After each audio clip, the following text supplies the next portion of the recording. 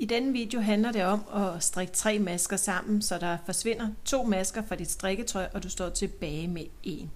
Den første vi skal se på, det er tre ret sammen, og den giver det her udtryk her. Og tre ret sammen, det siger måske næsten sig selv. Det er nemlig at tage tre masker og strikke dem ret sammen. Du skal altså have maskerne ud på spidsen af din pind, og så stikker du bare ind i alle tre og strikker dem ret. Og så ligger den her. På vrangsiden strikker du bare vrang over alle masker.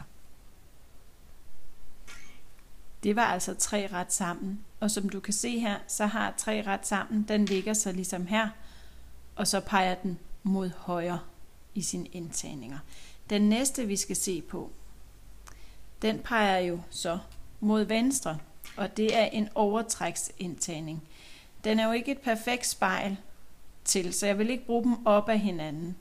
Men hvis man vil have noget, der peger den ene vej, og noget, der peger den anden vej, så giver den her god mening. Det her, det er overtræksindtagningen, og du kender den helt sikkert. Du løfter simpelthen en maske ret løs af, og det gør du altså ved at stikke ind i masken, som om du vil strikke den ret, og flytte den over på højre pind. Så strikker du to ret sammen, og trækker den løse maske over. Og så har du den her. Og du strikker bare øh, videre i glatstrik. Så den er altså bare helt almindelig vrang på vrangsiden. Den næste jeg vil vise dig, den hedder L, L, L, S. Altså løft, løft, løft, strik. Og det er den, der er i familie med LLS, altså løft, løft, strik. Den, der på engelsk hedder SSK, eller slip, slip, knit. Og på engelsk hedder den her SSSK, altså slip, slip, slip, net. Og som I kan se, så har vi stadigvæk tre ret sammen, der peger mod højre, og så peger den her mod venstre. Den er en lille smule kønnere end øh, en løsat, to ret sammen træk over indtagning. Men øh, jeg vil stadigvæk ikke lægge dem ved siden af hinanden, op af hinanden. Det synes jeg simpelthen ikke, de matcher hinanden godt nok til. Nu skal du bare se, hvordan du gør.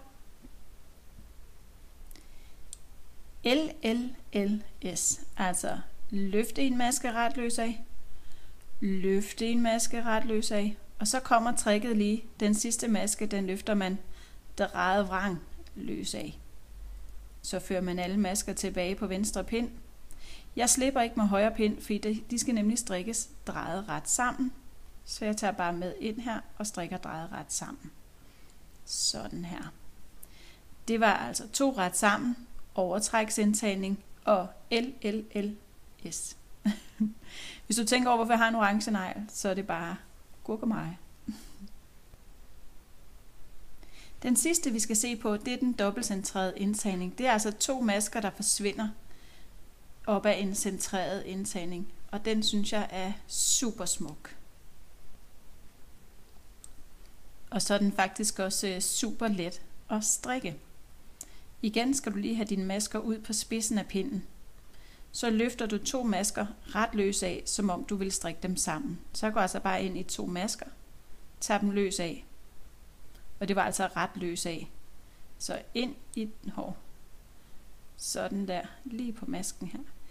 Ind i begge to. En ret. Og så løfter man dem over. Sådan der. Og så ligger den helt centreret og strikkes også bare vrang på vrangsiden.